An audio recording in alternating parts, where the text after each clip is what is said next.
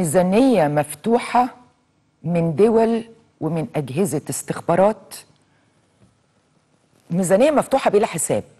المهم الغرض إسقاط مصر وتدمير مصر. وأعتقد أنه يعني معظم حضراتكم عارفين ده. لكن آه، اللي مش عارف لازم نعرفه. لأنه اللي مش عارف ومش فاهم لازم نقول له ولازم نفهمه. لأن الحقيقة إن إحنا مش مفروض اللي فاهمين حان الوقت بقى دلوقتي. مش مفروض اللي فاهمين يفضلوا ساكتين على اعتبار إن الناس فاهمة. لا لازم نتكلم ولازم نفهمهم. 24 ساعة على مدار 24 ساعة شوفوا بقالهم كام سنة بيحاولوا إسقاط مصر وتدمير مصر. أنا سؤالي لحضراتكم كمصريين وكمواطنين وكمشاهدين السؤال دلوقتي ب... ب... أنتوا تفكروا فيه وانتوا تردوا على نفسكم. أنتوا عايزين تدمروا مصر. أنتوا عايزين تدمروا 100 مليون مواطن.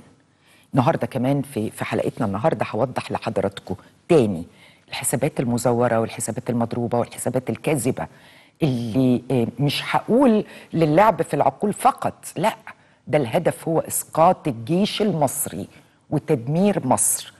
وتدمير المصريين. ما فكروش ابدا اللي آه، سخنانين في الحكاية واللي ممكن يتأثروا. ما فكروش بماذا بعد؟ التغيير. الفكرة مش في تغيير. الفكرة هي التدمير. لأنه بعد التغيير بيبقى التدمير وتحديدا في مصر هيبقى التدمير سريع جدا. مش هياخد وقت زي دول تانية لغاية دلوقتي.